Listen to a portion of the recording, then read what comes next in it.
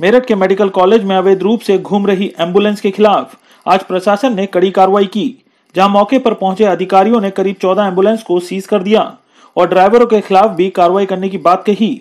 दरअसल, आपको बता दें, मेरठ जिला प्रशासन को पिछले काफ़ी समय से मेरठ मेडिकल कॉलेज में अवैध रूप से बड़ी तादाद में एंबुलेंस संचालन की सूचना मिल रही थी, जहाँ आज जिला प्रशासन और पुलिस प्रशासन के लोगों के साथ मेरठ आरटीओ विभाग के अधिकारी पहुँचे।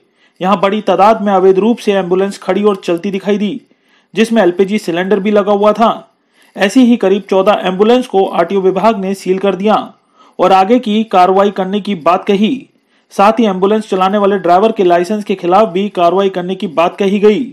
एडीएम सिटी की माने तो ये एंबुलेंस कई तरह की धांधली करती है ज़्यादातर पेशेंट स्कोर कमीशन खोरी के चक्कर में प्राइवेट अस्पतालों में पहुँचाने के साथ कई घोरक धंधे करने के आरोप एंबुलेंस संचालकों पर लगते हैं। बहरहाल, जिला प्रशासन की इस कार्रवाई से एंबुलेंस संचालकों में हड़कम मचा हुआ है।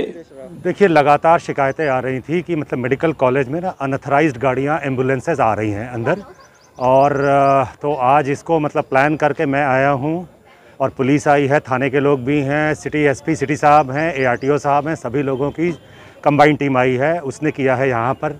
करीब तेरह, चौदह गाड़ियाँ ऐसी हैं ऑलमोस्ट सारी गाड़ियों में जो नॉर्म्स स्थापित नॉर्म्स हैं, उनका अनुपालन नहीं दिख रहा है।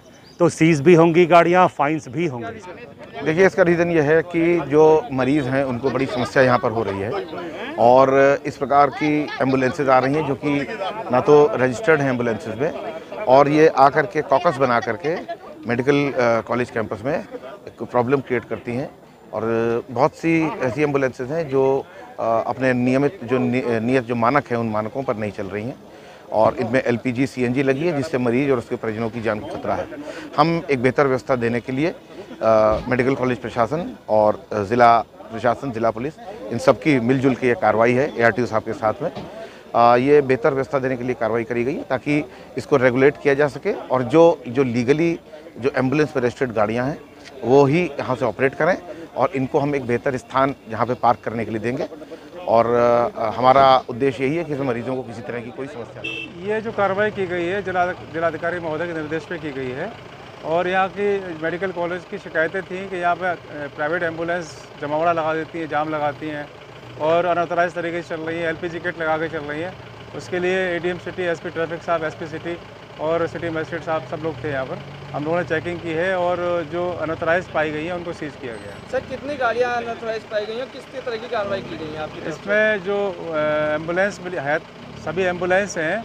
इसमें एक बड़ा ऑफेंस जो मिला है वो इनमें एलपीजी सिलेंडर लगे हुए हैं एलपीजी किट लगी हुई है जो एक बड़ा ऑफेंस है मोटर व्हीकल